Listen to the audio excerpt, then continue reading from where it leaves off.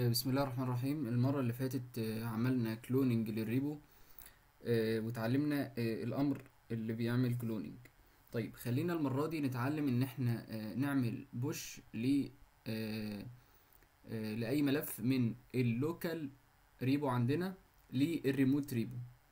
مبدئيا كده تعالوا مثلا على ال- ال file بتاعنا اللي إحنا بنشتغل عليه اللي اسمه test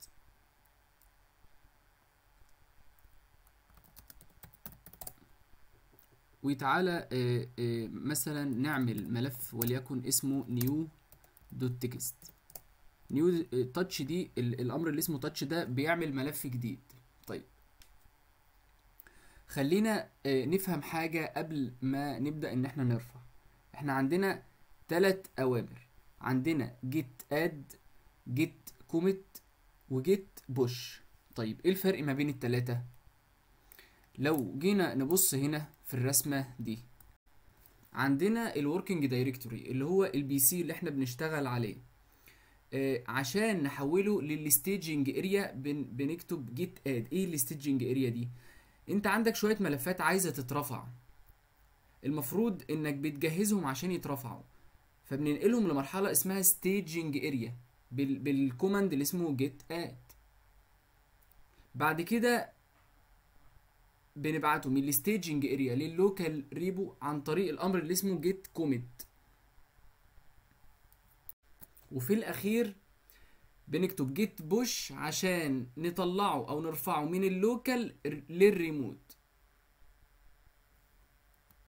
ال staging area مرحلة وال local repo مرحلة. كل ده على ال PC local لسه ما اترفعش.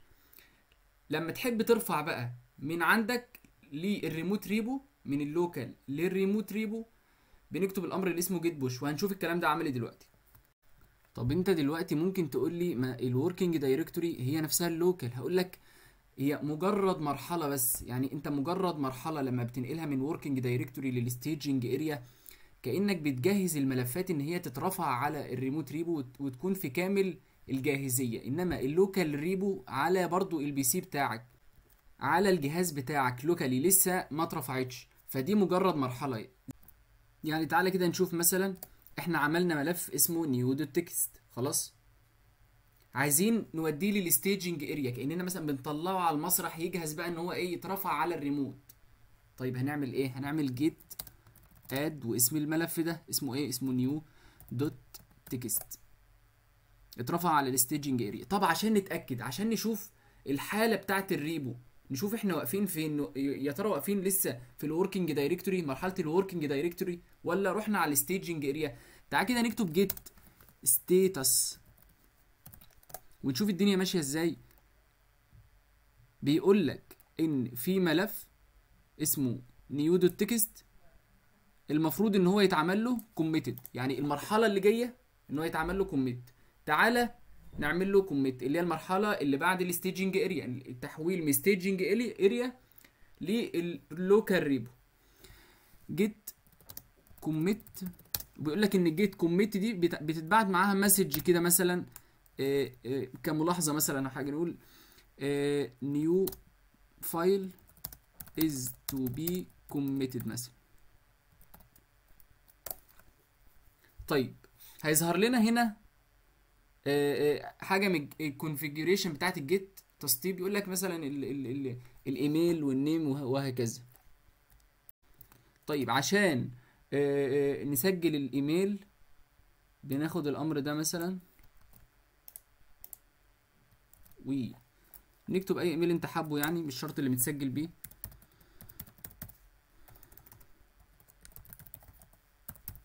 ده بالنسبة للإيميل. وبعد كده هيطلب منك آه، آه، ال name.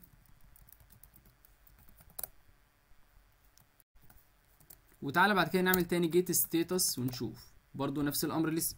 طيب git commit new file ده.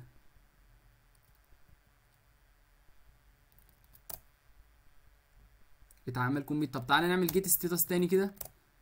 بيقول لك خلاص إن git push هي المرحلة اللي عليها الدور عشان نرفع من ال local لل remote. وتعالى نعمل clear نفضي الدنيا كده. وبعد كده نعمل git push. تعال كده نجرب status الأول. هيقول لي إن git push اللي عليها الدور تمام. git push.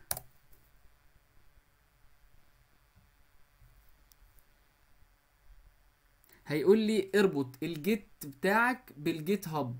طيب هتتعمل إزاي؟ تعال نمشي واحدة واحدة.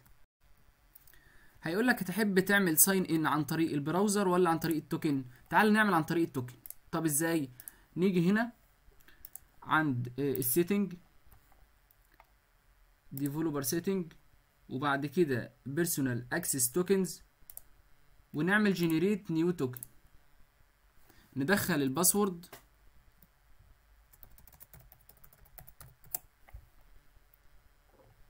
وطبعا دي الصلاحيات مين اللي يقدر يرفع على ال repo؟ مين ال admin المتحكم؟ طبعا آه نعلم عليهم مفيش مشكلة دلوقتي.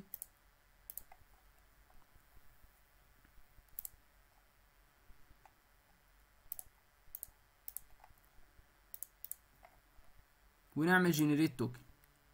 طبعا أي note. أدي ال note.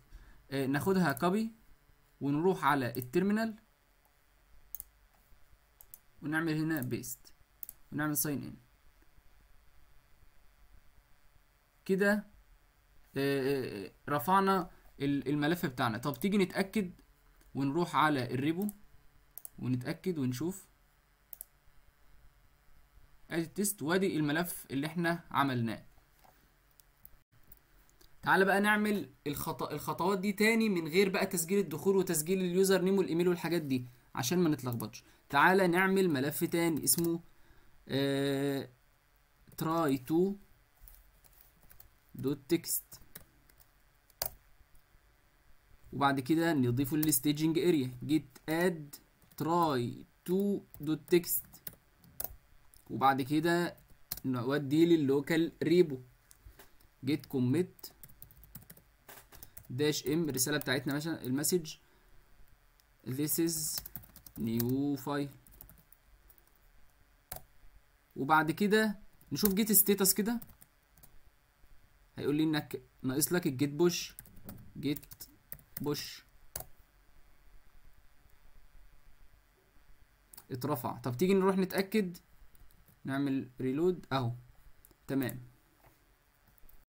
طيب أحيانا بعد ما تضيف الملفات اللي أنت عايز ترفعها لل staging area تتراجع عن القرار ده وتكون مثلا عايز تنزلها تاني لمرحله ال working directory هتعملها إزاي؟ تعالى مثلا نعمل هنا ملف وليكن test dot text وبعد كده نعمل git add إن إحنا بنوديه لل staging area